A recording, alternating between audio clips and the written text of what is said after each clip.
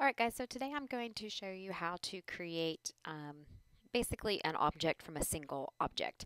So in my classroom at Reedy, I have a bookshelf that we keep our sketchbooks on, which is this one right here. We call it the sketchbook shelf.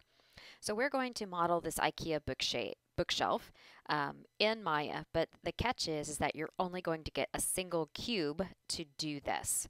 Okay, so the first thing I'm going to do is I have found online um, a much better picture of that IKEA bookshelf um, just to help me see it at a straighter, like straight on view. So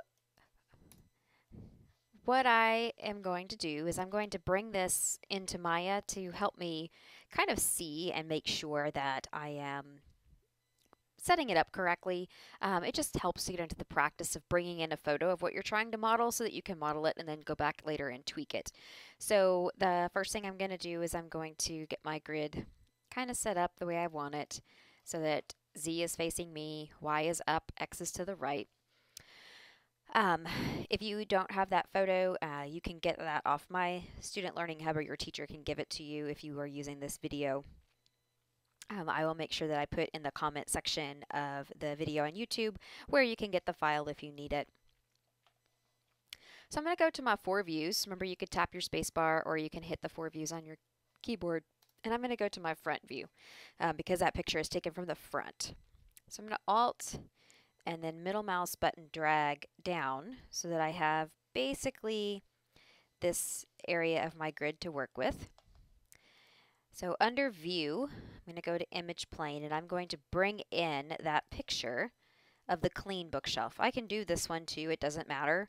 Um, I can use that to set off with, so either one works. I'm going to go ahead and use the messy one. And I'm going to drag it so that it's kind of sitting where I want it. Resize it a little bit so that I have a nice big picture. And as you can see, like I'm looking at it at an angle, so I'm going to go straight up when I'm modeling this. So looking up here in my perspective camera, I can actually see that uh, picture, which is slightly distracting. I only want to see it in this one view. Uh, so I'm going to go to my attribute editor, and with the image plane, plane selected, so if I've selected off of it, I'm going to click and drag till it turns green. I am going to scroll up until I see where it says image plane attributes looking through my front camera. That way I don't see it here. And that'll help me just a little bit. So I'm going to go ahead and create a cube. So my interactive creation is on. And I'm going to click and drag here to kind of give me that bottom base. And as you can see, I did it from that way, so I'm going to drag this way to kind of give me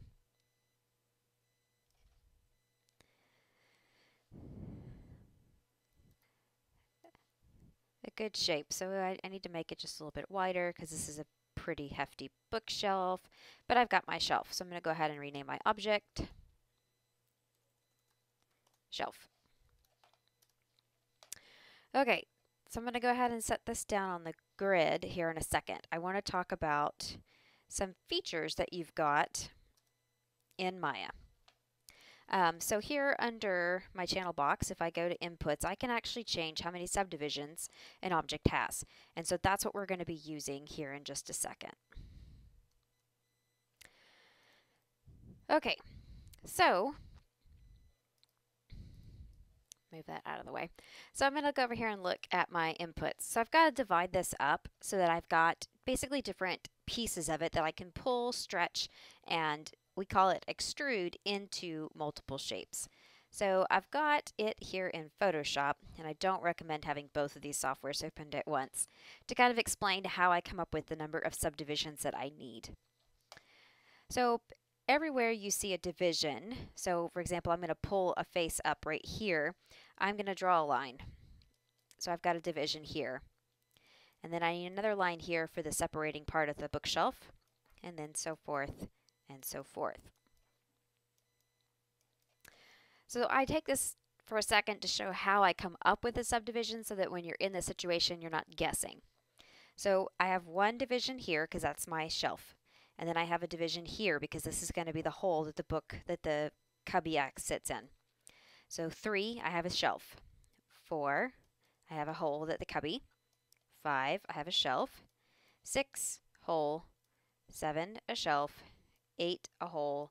Nine, a shelf. So I need nine, nine subdivisions. Okay, so back in Maya,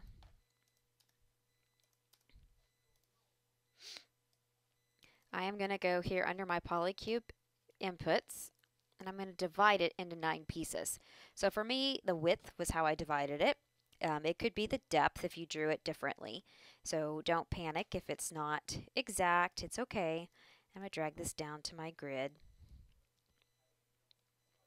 So the last day when we did the primitive man, um, I told you guys that if it turned blue or blue with purple polka dots to um, call your teacher and don't like don't panic, like I'll fix it. Well, today we're actually going to turn it that way on purpose. These subdivisions, so this right here, this object is divided into many pieces. So this right here where these lines intersect, this is called a face. These lines are called an edge, and where they meet is called a vertice. So we're actually going to play with some of these edges today to basically bend, squash, and stretch and pull our cube into that single shape of that IKEA bookshelf. So the first thing I'm going to do is I'm going to go into edge mode. So to get there, I right click and hold on my keyboard, uh, on my mouse, sorry, and I'm going to go and choose edge. So it's turned light blue. When I hover over an edge, the line turns red. So I'm going to double click to get the edge all the way around the object to go and move it. So looking at my picture, which I'm going to refer to quite often, we can see that this edge, like this section, this division, is somewhat thicker than some of the others coming up. So I want this line to be somewhat thicker than some of the others. Um, it's really important when you're moving that you don't just single click because as you can see I can move this piece and it looks like I've moved it but I really and truly haven't. You've got to double click to get the whole line all the way across. So here I've got a shelf. Here I've got the cubby piece that the, um, the shelf sits on. I have a little shelf. So double click kind of got the cubby piece. Now you probably just saw me do that. Don't drag your lines all the way over to the other side. You can actually pull your object inside out, so it's not a good thing. Now y'all can see I'm freehanding this, which is not a good thing. I should be doing it in this view so I can get these guys somewhat lined up correctly.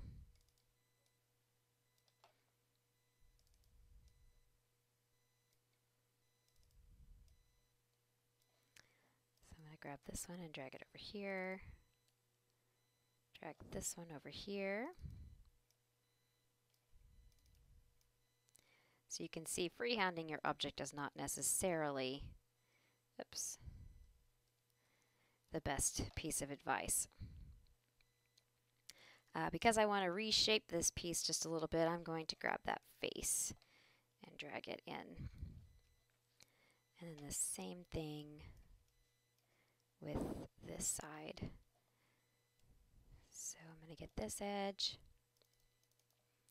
drag it where I want it to be, and then I'm going to get the face on this side to drag it to better match my bookshelf. So I can see I've got a pretty good representation of my bookshelf. I'm going to right click, go back into object mode. Okay, so what I was doing when I grabbed the face, I'm grabbing where the lines all intersect. So I was trying to grab the sides of the object to bring it in. For the ends, I can't grab the edges and move them. Um, I can only, I need to grab the face to actually change the size of the object. All the other subdivisions, grabbing the edges were just fine. Okay?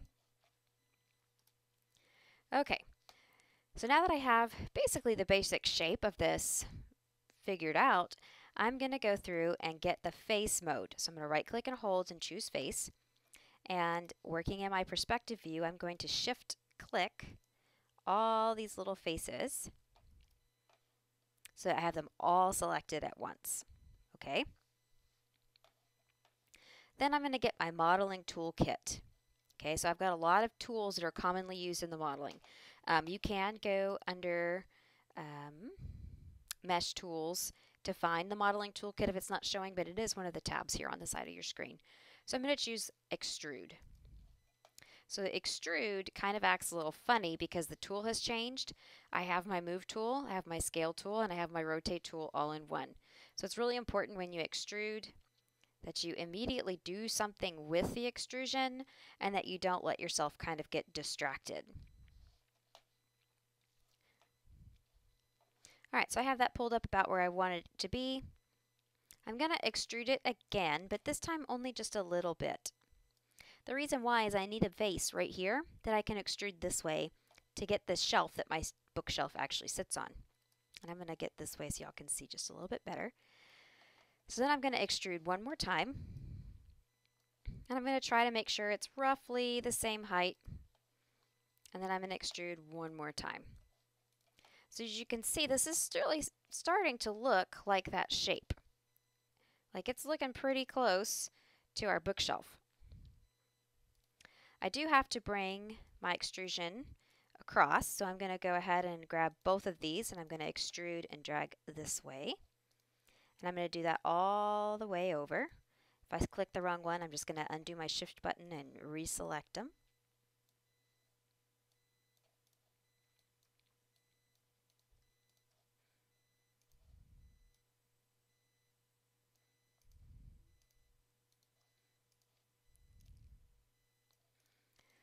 And then when I go back into my object mode and I look in my channel box, whoops, I can see I only have the one object.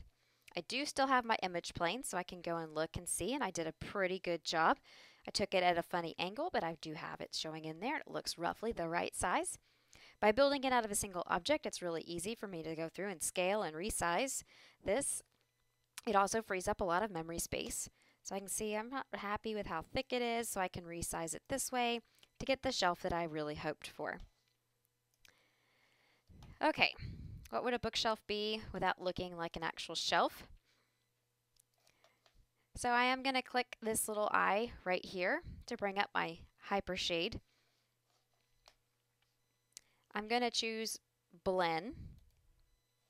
Okay, so I'm going to double click on this guy. And this has gotten a little bigger.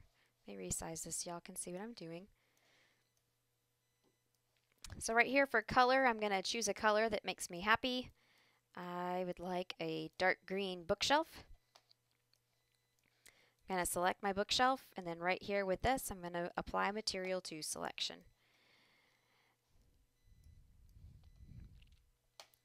So I'm going to click this guy right here and I'm going to call it my green bookshelf. Oops, color. I'm going to close my hypershade so that now I have a pretty green object. Um, I can always hit my eye again. Let's pretend I don't like the green. I can hit my green here and I can go click here to change the color. So maybe I would like a blue one now. So I'm going to go pick a pretty blue.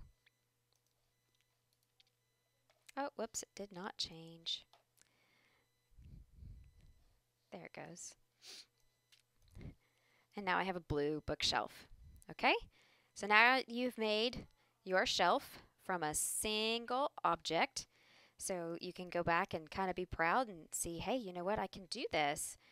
That I can tell when I drag it, I needed to drag that face over just a tiny bit more. But now you can build things out of a single piece. So as we start the school object, um, assignment, start thinking about what you can build um, out of multiple pieces. Uh, for example, we're going to do a library. There's a lot of bookshelves in there, so I could do something similar to this in order to make a bookshelf. So on my Student Learning Hub, I do have a listing of a bunch of different objects. Uh, please pick some of those objects to go through and start modeling out um, different things, different object. How what can I squash and stretch and pull to make a cube into something else?